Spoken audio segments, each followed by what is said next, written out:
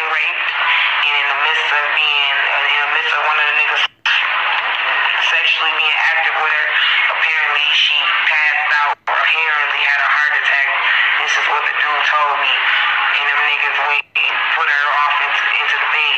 Because he said the originally, apparently, plan was to rob all the girls, but it was too many people at the party. The party ended up getting thicker than what was expected.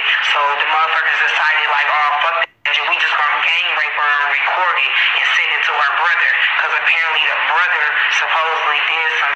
Kenneka knew the niggas was, and that's what the altercation was in the bathroom. And she was telling them she ain't none of that, she cool, she don't want, they kept trying to get her to drink. Dude said that's because one of the niggas spiked her drink. That's why they kept trying to get her to drink. She put up a fight when they, whenever they got her and secluded her. Whatever. Apparently she had put up a fight or whatever, and the nigga, the nigga, the niggas was choking her. Wow, the nigga was choking her while she was while they was she was fighting in the midst of the sexual encounter. Apparently, in the midst of the sexual encounter, she was fighting them back basically, and the nigga choked her and she ended up passing out. Apparently, they said when he was choking her, I don't know. She they said she had a seizure, a heart attack. You know, motherfuckers retarded. They don't really know the, the difference between the two. But apparently, she passed out, and, and that's when they